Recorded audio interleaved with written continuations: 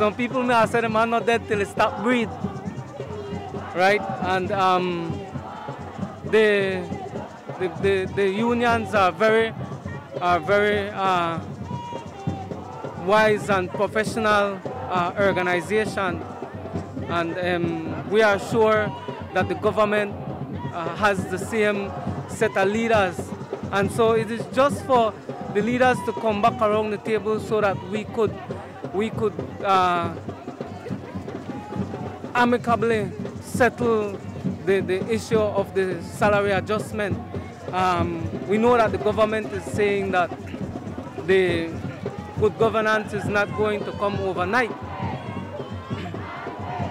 Good governance has been on the table since independence, right? And they call for good governance by the, by the labor movement in Belize, in the Caribbean, now in other jurisdiction has been non-stop.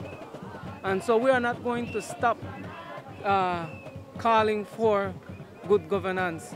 We know that the, the, the, the government has to do their research um, we expect that the research is, is, is going to happen, um, that we employ the, the qualified individuals who will be able to assist us in getting this done. But could get the thing done, man, you know, impossible.